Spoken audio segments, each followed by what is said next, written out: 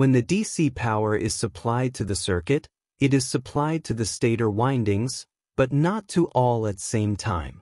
The stator windings are powered in a pattern to create an electromagnetic field that causes the rotation in rotor having permanent magnet. They are switched in a sequence so that a complete and continuous rotation is obtained.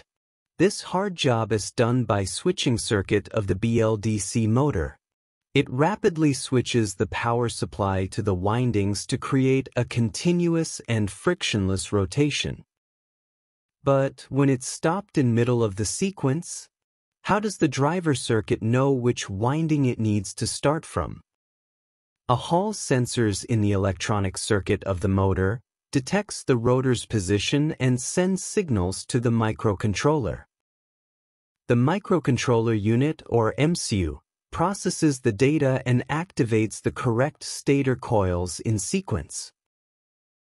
The MCU continues this sequence to have continuous forward rotation.